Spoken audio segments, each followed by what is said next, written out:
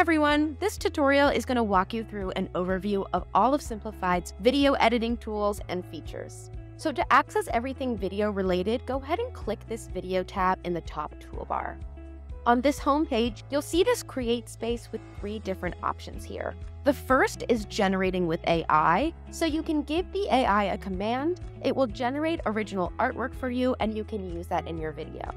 You can use this Browse Templates option in order to browse our many professionally designed video templates, or you can start from scratch using this button here.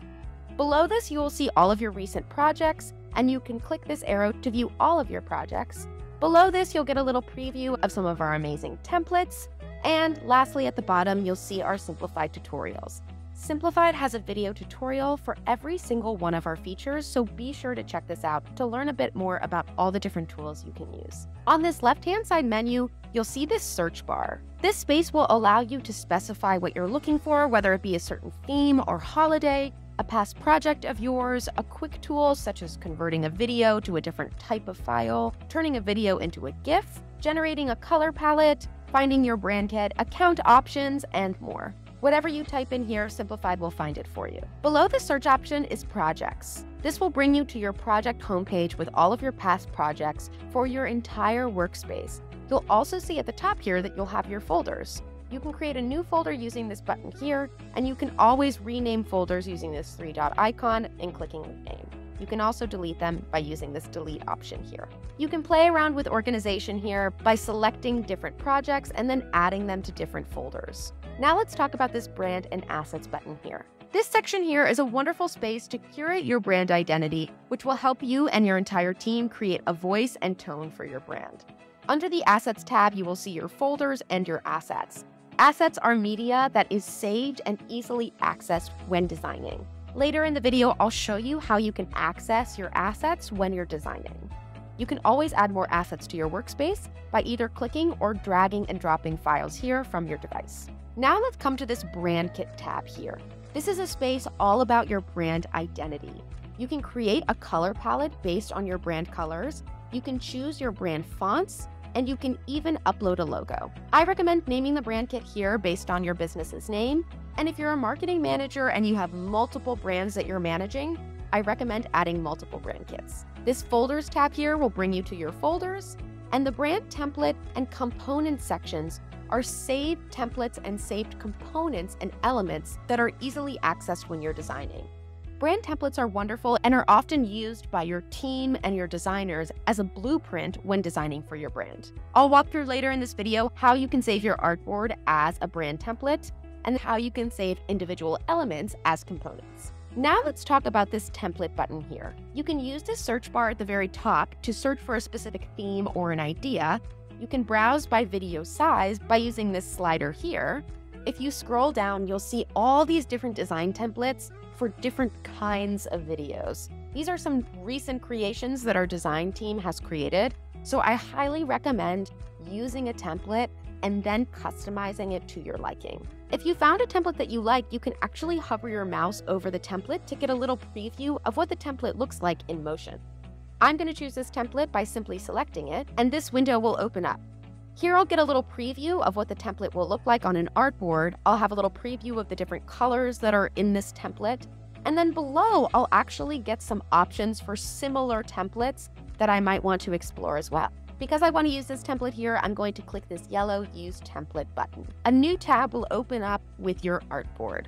So now we're in the portion of the video that's going to talk about the different video design features you'll see that you have your artboard here, you have a top toolbar with some tools, you have a left-hand side toolbar with some additional tools, and then below here you have your timeline view, which you can collapse using this arrow or open by clicking timeline view here. I'm going to expand my timeline view by dragging up, and here I can see my video content as well as my music content. So this timeline view is marking second by second everything that happens in my video.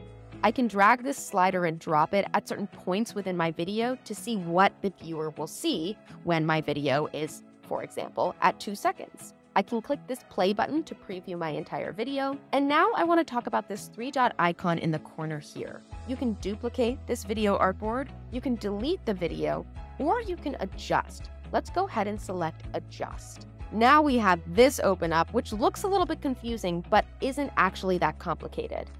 Basically, what this is showing you is a breakdown of every single element in your video artboard and when it appears. So my first shape will appear at 0.5 seconds. I can adjust the elements by either trimming by dragging either left or right, or clicking and dragging the entire element itself either left or right, depending if I want it sooner in the video or later. And I can see that I have my text, so I know this is my give portion of my text and this is the away, and I have it staggered. So first the give will appear and then the away. These are really wonderful and easy to use tools that allow you to play around with the different elements in your video until you find the order and the version that you like. If you ever make an adjustment to your video and you decide that you want to undo the change, all you have to do is use this undo button here in the top left corner. I want to go back to my timeline view as I had it before, and now I want to talk about some of these tools in this top toolbar quickly. This plus icon will add an additional artboard to your video. This trash can icon will delete an artboard. This clone artboard will clone your artboard. This paint bucket icon will control your background tools. So let's say you want to change the color of your background. All I have to do is click here a menu will open up on the right hand side where you'll see my brand kit options are available to me, as well as custom colors if I want to play around with that. I want to choose my brand kit colors, so I'm going to select this pink color. In this background option, you can also use an image as your background. If I selected this, a menu would open up with Simplified's photo media library. There are thousands and thousands of photos, videos, GIFs, and even audio to choose from. This icon here is a resize artboard tool. Basically, if you're designing a video and you decide that you want different dimensions for your artboard, you can either enter a custom size or Simplified already has the required dimensions for many different social media platforms ready to go, and all you have to do is simply click. This icon here is the animate icon. You can either animate your entire artboard or you can select a specific element and then choose Animate. These animation tools will open up on the right hand side, and now you can choose which animation you want for this specific element. You can hover your mouse over different presets to preview what it will be like on your element. I love the zoom in, so I'm going to select that. And now my element has this animation attached to it. I can also adjust the duration. I can choose an enter animation as well as an exit animation. You can control even more specifics of the animations, such as the direction, as well as the animation speed, the easing, and you could even put your animation on a loop. There are lots of different options here when you're animating your artboard. So if you're curious about this, you can check out our animation tutorial, which goes into this feature with a lot more detail. Now that we've covered all the tools in the top toolbar, let's talk about these options on the left-hand side toolbar. This My Assets icon will open up those assets that we saw earlier. So again, this is a great place to store elements that you're using over and over again when you're designing. You'll also see that you have access to your brand kit here, as well as your folders. Below, you'll just be able to access your templates as well as your team templates. Below that, you'll see our text options where you can browse our different kinds of text, different fonts, different typographies, and so many other amazing text tools. Below that, you'll see the media icon, which we already covered, the visuals icon is a really fun place to play around. Our designers have created thousands of visuals to help your design stand out a little bit. So use this search bar to search for a specific theme or an idea, or if you know that you're looking for a specific genre, such as flowers and leaves, you can browse all of our different visual elements that we have. Below the visuals, you'll see the AI images. This is a space where you can get access to the AI to actually create AI generated images right within your artboard. And lastly, this captions option. This is a space where you can actually upload captions and subtitles to videos that have speaking audio. We have an entire tutorial that goes in depth about all the different steps that are needed to do this, so definitely check that out. Now that we've covered these tools, I want to talk about this microphone icon here. This icon will give you the options to either record a voiceover, which means you can actually record your own voice and then add it to your video artboard, add text to speech, or even add voiceover and audio from your own device. Now that we've covered a lot of our design tools, I want to talk about organization and sharing with your team. I highly recommend always naming your project.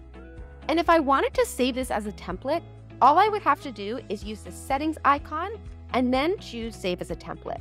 I could also clone my project here, rename my project, and see an entire version history of my project. I can use this comment option to leave a comment and even tag members of my team.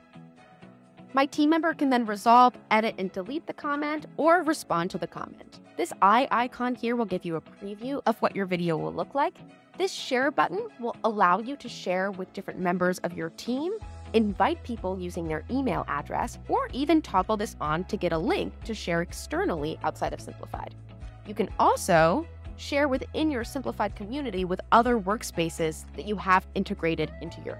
And lastly, you can export your artboard. You can either download it as a video to your device, you can publish it on social media right through our content calendar, or you can publish it to that community that we were just talking about. Thanks for watching, guys. We'd love to hear from you in the comments, and do check out our other tutorials to see all the different features and tools that you can use on Simplified to help you create amazing video designs. See you there.